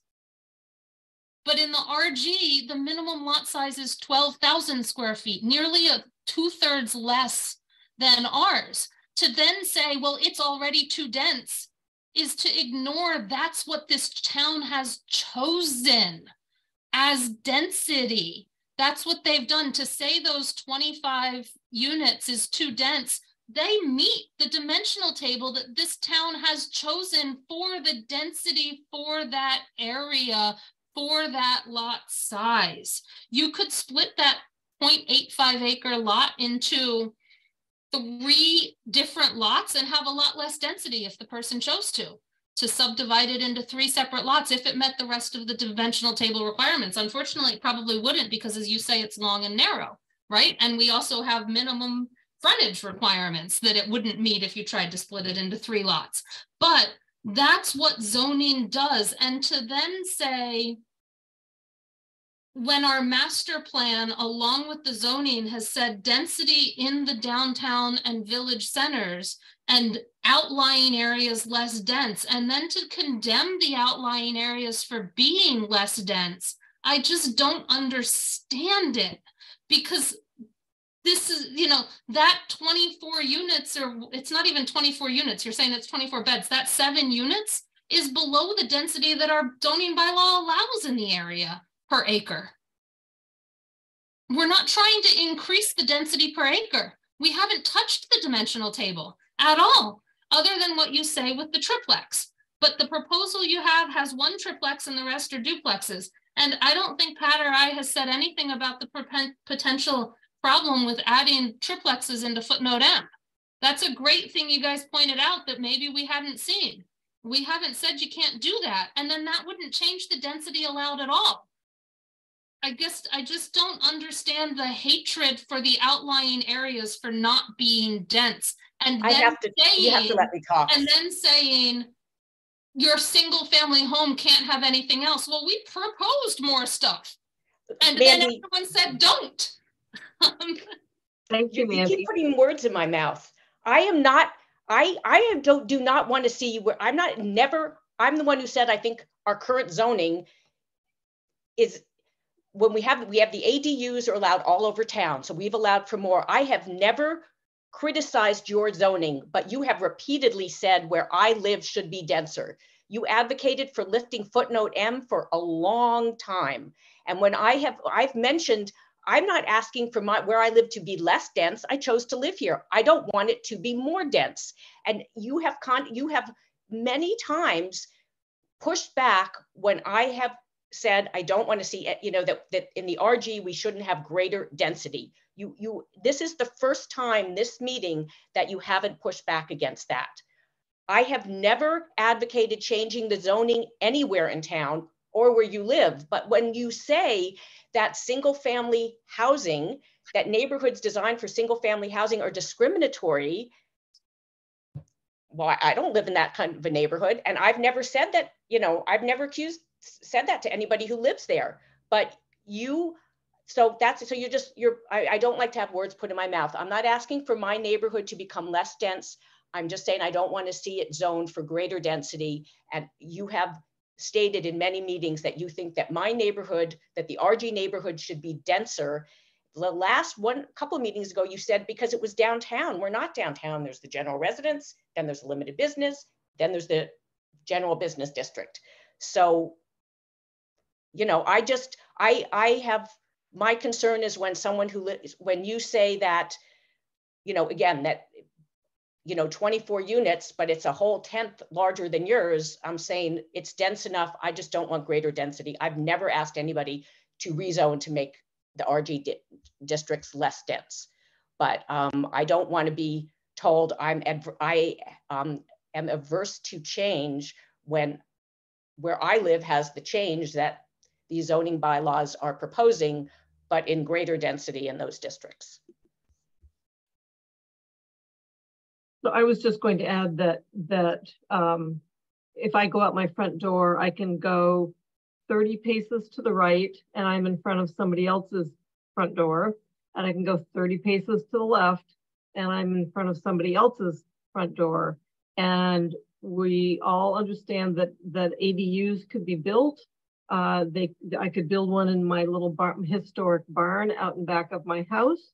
Um, but we need to we need to be able in the residential general residential district to be able to say enough is enough at some point and that is no more than the nine or 10 units per acre that footnote M protects.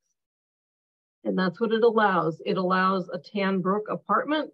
It allows Spruce Ridge apartment complex or, you know, hometown uh, complex. It is you know, it's possible.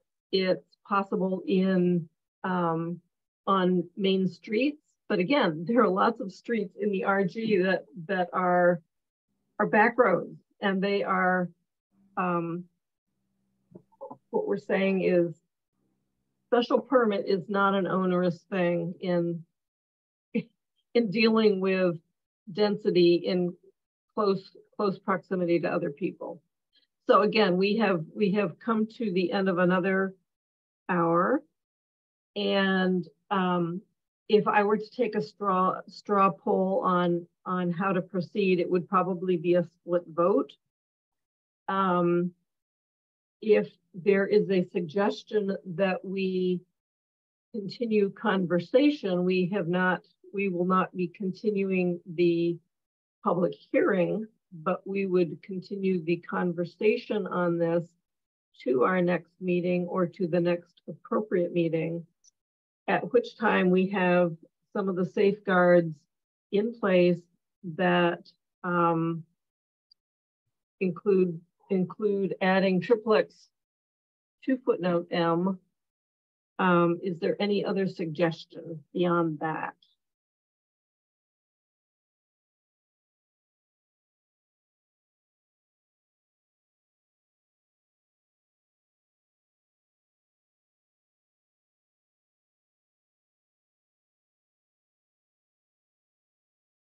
I'm looking at Pat.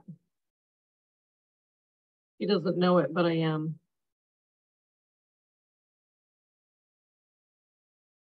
Pat's muted.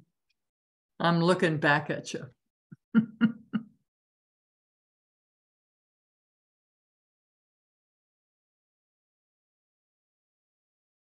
Andy. So I have a practical question. I know we're missing a fifth member, so if we vote an entire proposal today, it's going to be a 2-2 lock. Yep. So it'll just be tied. Um, but my practical question is, I've heard from both Pam and Jennifer that they don't want to split the proposal into multiple recommendations. But if we wait till next time, um, and potentially move the meeting so we have five members instead of four, although I don't know because Shalini's still not here to determine, and I know I have to, to make the meeting, I can't have it on the 6th. But if we were to split this into potential things, um, and I, I, we haven't spent a lot of time talking about some of the other part, portions of the proposal are Pam and Jennifer up for potentially actually voting yes to recommend certain parts of this proposal, particularly the triplex with the addition of footnote M, converted dwellings, subdividable dwellings, townhouses, um, and portions of duplexes. I, I, I don't know, but um, my question is, is it worth waiting or should we just make the vote now and send a split vote to the council? Or might some parts get recommended if Pam and Jennifer are willing to vote yes to certain parts of it, even though they've said they don't want to split the motions at all?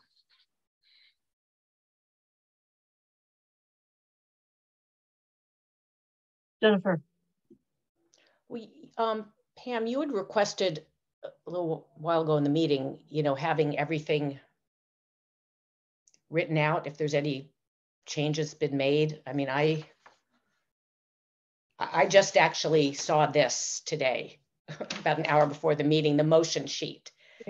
me Yeah, so. I would need a little more time. Yeah, yes, I, I would feel very uncomfortable as it is to be able to accept one chunk at a time, just because I think there are some that are linked, as I said before. And, um, so I'm, I, I am not ready to, to chunk it into pieces yet. And I understand if we wait for Shalini, there's much greater likelihood that it would be a three-two vote in support of all of these changes. Andy, I'll let Pat go first. No, you go ahead, honey. I was just gonna make a motion then, but I don't know what you're thinking, Pat. Go ahead. I have a feeling it's the same thing. I move that the town council, uh, I move to recommend the town council adopt the um, proposed revisions as presented in the document titled duplex and townhome proposed bylaw revision twelve A dash twenty twenty-three dash oh six dash twenty-one. Um, as modified by adding to table three dimensional table regulations footnote M, the phrase uh, three uh, triplexes, parens, section three point three two one three after um, the reference to townhouses in footnote M. Second,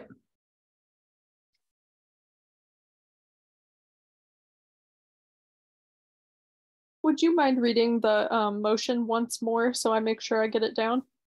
I will do my best. Um, I move to recommend the town council adopt, um, the proposed revisions as presented in the document titled duplex and townhome proposed bylaw revision twelve A dash twenty twenty-three dash oh six dash twenty-one and modified by revising table three dimensional regulations footnote M to add the phrase triplex parens three point, section three point three two one three and parens after the reference to townhouses. it should actually come before townhouses. Do you want it before, before the reference to townhouses? The number, the number comes, If you want the numbers in number order. um, So before townhouses, Kelly. um, My apologies. Um, I got a little bit lost. Um, could you read just the part after by revising table? Yep. Hold on.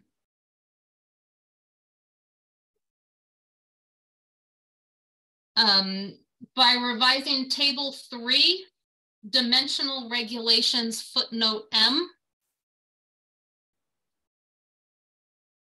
Um, Yep. to add the phrase triplex parens three point three two one, section three point three two one three and parens. Um, before the reference to townhouses. Excellent. Thank you. I got it. thank you, Kelly. You are welcome.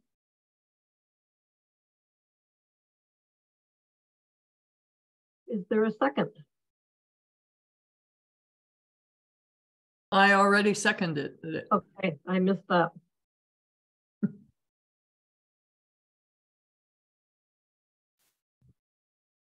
Uh, let's take a vote.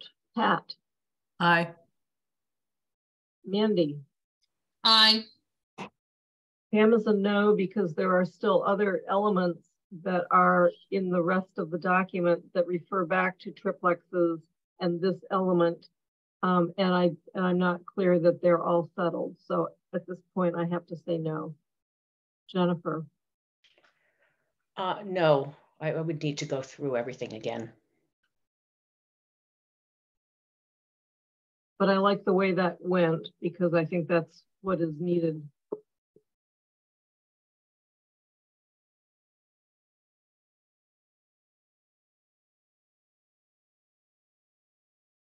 And I'm, I'm guessing that um, this isn't the end of the conversation, just because it's a stalled vote.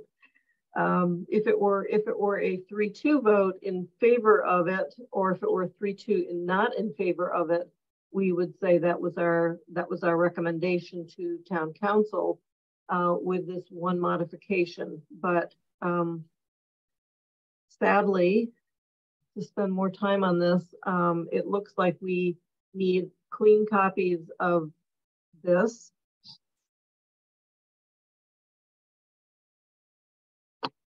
Yeah, Pat.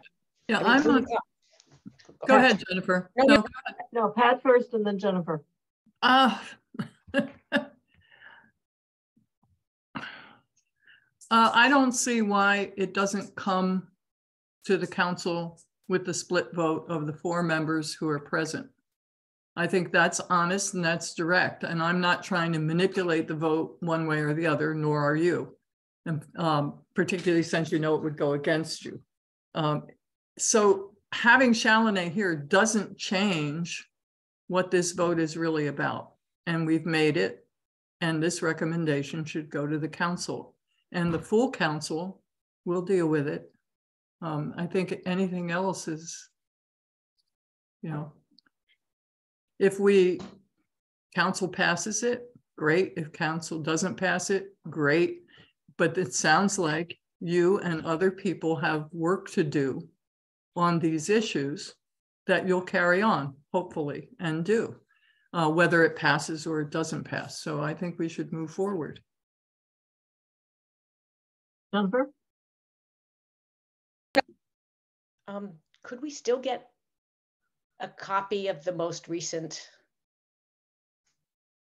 um, proposed sure. changes? Like, I feel, I really didn't understand what Pat said at the beginning. I misunderstood that. So that's where I don't totally, what you said last night about it in the aquifer, I heard it in the, so that's why I'd like to maybe see it in writing, because I think it's, so, so revision twelve A is, is the most recent. The only change that would be made would be remove the comment that we're willing to remove it because it didn't seem to, that, that one section for removal um, didn't seem to go anywhere, so it's not proposed for removal anymore. I'd remove that comment and I'd remove all the highlights and there would be nothing else changed.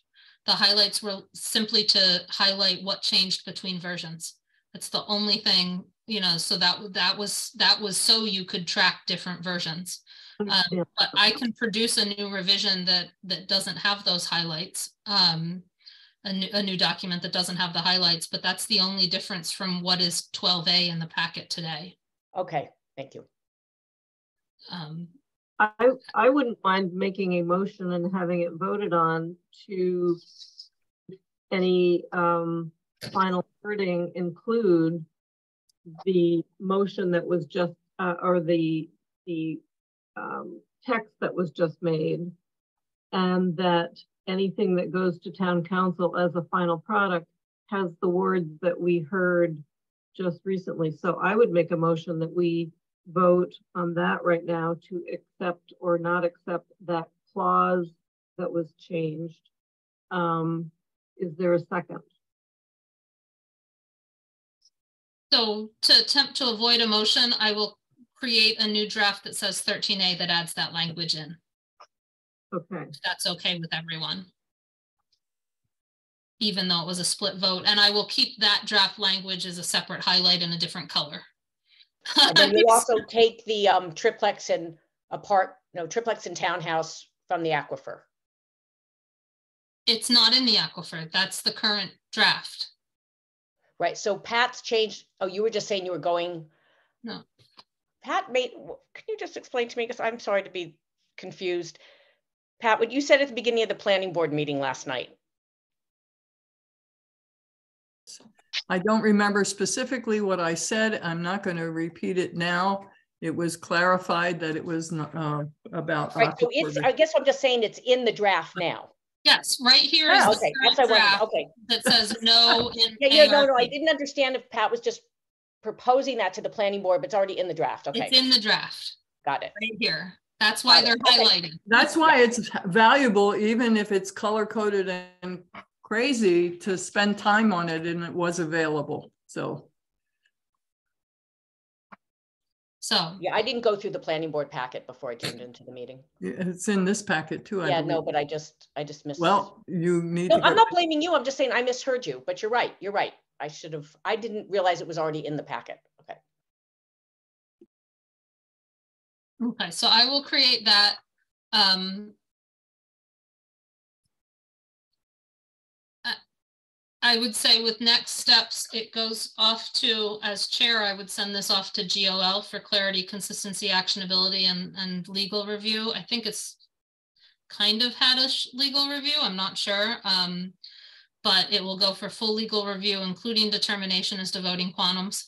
Um, and it will go to the council with the split tied vote on recommending or not recommending with one absent. Um, that does not necessarily stop this committee, given that there's timings from discussing potentially further recommendations. If counselor, if committee members would like to discuss potentially further recommendations, I urge them to get in touch with me on whether to put it on future agendas. Um, but, but with that vote on a recommendation or frankly a non-recommendation, it's not, it's neither yes or no on the recommendation. Um, I will consider most of this work done um, unless I hear from any member that wants to add this to an agenda for a specific particular discussion. Chris has her hand up. Chris, Yeah. I know that. I was waiting for Mandy. yeah. to- sorry. Pam, you're still chairing. Mandy, I mean, Christine, So I just wanted to confirm that the planning department has not discussed this draft with, with, or any draft of this proposal with KP Law. We haven't sent it to them and we haven't discussed it with them. Thank you. So that'll be GOL's job. There's the chair, GOL thrilled to hear that. Mandy, before we turn over the meeting Yeah. to catch up in the, in the five minutes we have left, um, the, the earliest that this, given that it's going to GOL, given that it's, um, probably gonna get KP Law review, what is the time frame for this to come to council? Um, I can't answer that right now. I have to do my ninety day limits on how late things can go. I will create that timeline, send it off to the president um, and the GOL chair, and I can send it off to this committee too, so that they have an idea. Um, I, I don't, there's, there's time limit, to- limits to vote at council. Um, I haven't calculated them. I don't calculate that until the hearing is closed. And now that the hearing is closed and the planning board hearing is closed, those can be calculated. Um, but I haven't done that yet. So I will send that calculation um, off to the committee, just so they know, as well as the GOL chair, which happens to also be someone on this committee, as well as um, the president of the council for agenda setting purposes. Thank you. I'm turning over the meeting to Mandy Jo Hanneke. Thank you. Um, seeing the time, we will not be doing residential bylaw review today. I apologize, John, if you've been here the whole time. Um, for that, uh, that will be next meeting, pretty much the whole time.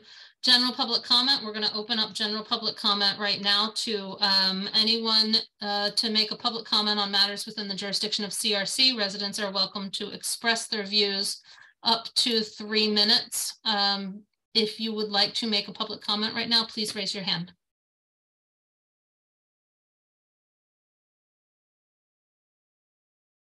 Seeing no hands raised, public comment is now closed. Um, with that, we have the minutes. Um, are there any requested changes to the June 8th, June 12th, or June 15th meeting minutes? I think they they might not have all been in the packet actually. Um, in fact, none of them might have been in the packet. Jennifer, is that what you're saying? No, I did have, um, I think for the uh, June 15th minutes, I did have a request for a, you know, a little change I wanted to request. Sure. Okay, so I think if I read it correctly, it said that um, Pam had suggested that um, the two members of the two associate members of the ZBA, Sarah Marshall and David Sloviter, be advanced to the two three-year terms. And then I think later on it said that I suggested um, might have been Mr. Henry and Mr. Sloviter, but I did concur with Pam's recommendation. So I just wanted it there that my first choice was for the two associates to advance to full-time and then the new applicants to be associates. So I, I didn't want it to appear that I opposed the two current associates advancing to full-time. Okay. Um, Pam, are you able to make that change or get the gist of that change for that change? Yeah. And that was in the June 15th minutes. Any other changes? Seeing none, I'm going to make a motion to adopt the June 8th, 2023 meeting minutes as presented, the June 12th, 2023 special meeting minutes as presented, and the June 15th, 2023 special meeting minutes as amended. Is there a second? Second. Pam Rooney seconds. Any further discussion? Seeing none, we'll vote. Uh, Jennifer? Yes. Pam? Yes. Mandy's an aye. Pat? Aye. That is four to zero unanimous with one absent. Um, I don't have announcements. We were going to talk in next agenda preview about the next meeting. I cannot make the meeting scheduled for the 6th. Um, we were hoping to have Shalini here to discuss whether we should move it or not. Um, I, I don't have a, I, I can make the next week. So if we move it, I know I can make it on the 13th. Um, but I, I don't have a preference one way or the other. If people want to go forward with the 6th instead of the 13th, that's fine. I just wanted to make sure there was a quorum for the 6th. If Pam doesn't want to run a meeting, um, we can move it to the 13th. Um, Jennifer. So I, I, I'm sorry I had to miss the GOL meeting this week, but I thought um, in GOL they agreed we'd be nice to give staff July 4th. So I, I, I'd be happy to move it to the 13th for that reason.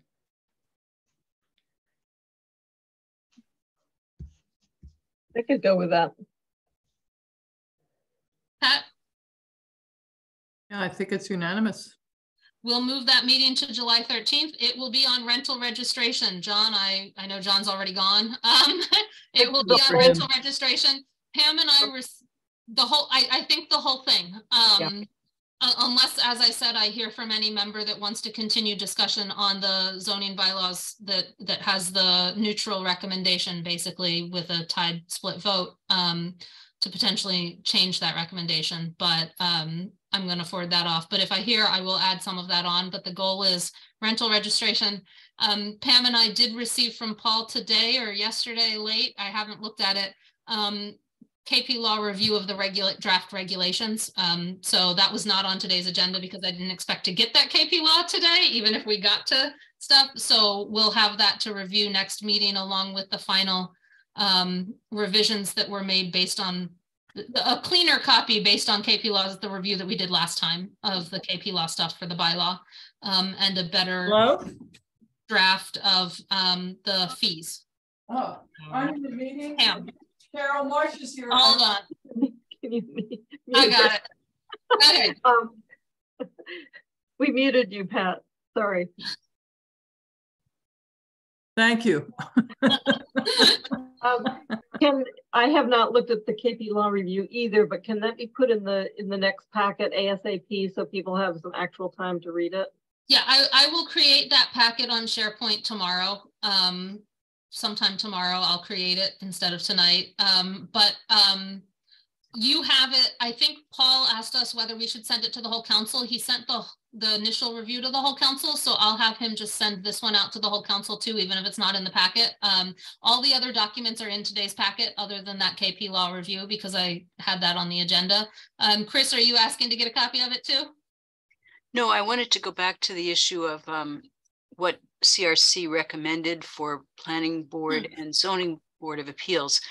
Um, and the question is, is town council going to make appointments on Monday? The votes are on the agenda for Monday. Thank you. So I, I will make sure the regulation KP law review gets out somehow. Um, I will try to create the full packet tomorrow. I don't think Athena will get it posted online though, um, until sometime next week. We know the agenda, so I can send the agenda out for the 13th and get it up. Um, but it, it might take Athena a couple days to actually post it on the website, but I'll, I'll put it in SharePoint. And at this point, the meeting to discuss it is on the 13th of July.